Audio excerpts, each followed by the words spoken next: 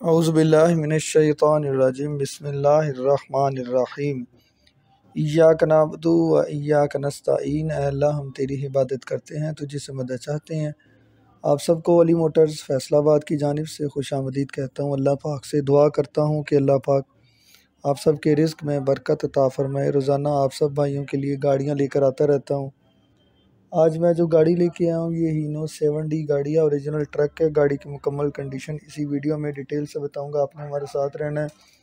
Video को आखिर तक ज़रूर देखना है। सबसे पहले जो गाड़ी का मॉडल है, वो उन्नीस सौ बानवे मॉडल है नाइनटीन नाइन्टी टू मॉडल है और ये रजिस्ट्रेशन है दो हज़ार आठ की। दो हज़ार आठ का ये कोटा है, और जेनियन लोडर ट्रक है ये।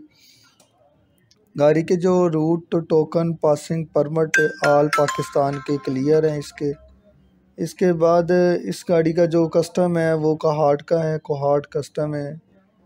कोहाट कस्टम में परसेंटेज नहीं होती इसका लमसम जो कस्टम है, वो तीन लाख रुपया पे हुआ हुआ है।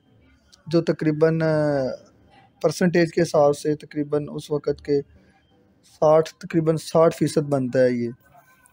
और इसके बाद ये जो गाड़ी है ये सिंगल गाड़ी है, आठ नटी गाड़ी है। ये इसमें जो नीचे हिस्से हैं वो एस जी के हैं।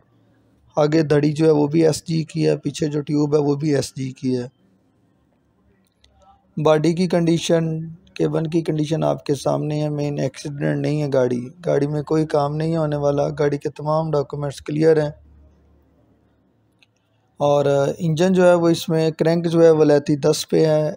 गियर गाड़ी का वो इक्कीस टाप का है। क्लच, इसमें चौदह का स्टैंडर बाई स्टैंडर ये गाड़ी है। गाड़ी में किसी भी किस्म का काम नहीं होने वाला। गाड़ी के तमाम डॉक्यूमेंट्स क्लियर हैं। और नंबर इसका जो है वो पिशावर का है। ये गाड़ी टाइम पे भी बेच सकते हैं, साल टाइम भी हो सकता है इसमें। गाड़ी नकद भी बेचनी है।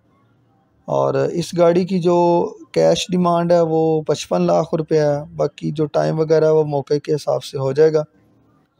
और इसके बाद इस गाड़ी को आप पंजाब में देख सकते हैं। इस गाड़ी को देखने के लिए आप ज़ीरो तीन सौ पूरा, आठ सौ छियासठ, पचानवे, इकतालीस, इस नंबर पर रबता करके आप गाड़ी के बारे में मज़ीद मालूम ले सकते हैं। और इसके अलावा अगर आप कोई गाड़ी ख़रीदना चाहें या बेचना चाहें तो आप उसके लिए भी इसी नंबर पर रबता कर सकते हैं। उम्मीद है कि आप सबको वीडियो ज़रूर पसंद आई होगा। अगर वीडियो पसंद आई हो तो हमारे चैनल को सब्सक्राइब ज़रूर कीजिएगा।